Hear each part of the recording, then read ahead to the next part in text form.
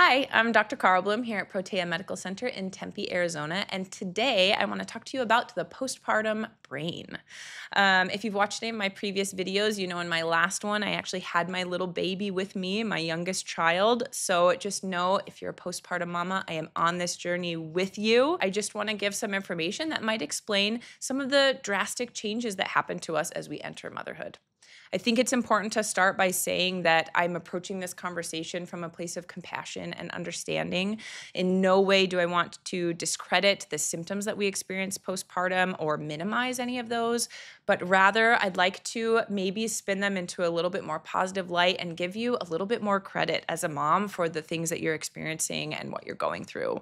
We undergo some pretty dramatic changes to our brains, which can produce some of the symptoms that we feel. So I'd love to talk you through those and and again maybe give you just a little bit more credit for all the hard work that you're doing. Okay, so first let's talk about what actually is happening to the brain. So we're talking structural physical changes to the composition of our brains that are dramatic enough we can actually see them on brain imaging.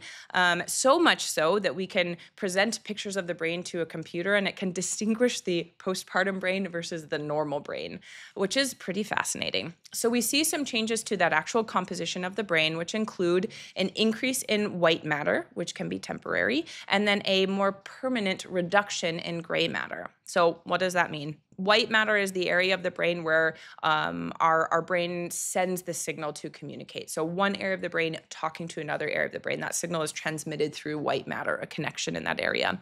The gray matter in the brain is the actual substance where the good stuff is happening the thinking, the memories, the logic, all of that stuff. So, we're seeing this temporary increase in white matter during pregnancy that then resolves, and then a more permanent reduction in gray matter, which is wild. So, yes, mom, you me right. Your brain has quite literally shrunk now that you've grown and birthed a baby. That sounds bad. However, it actually uh, is kind of cool to talk through. So, let's talk about the different areas of the brain that are affected, how they affect us, and what that means for our symptoms as new moms and postpartum moms.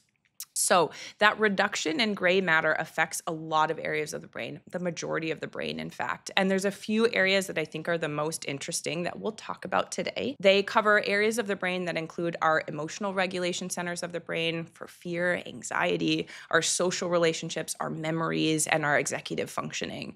How that might impact us are some of those most common symptoms that we experience postpartum things like anxiety, intrusive thoughts, depression, changes in our social relationships and brain fog.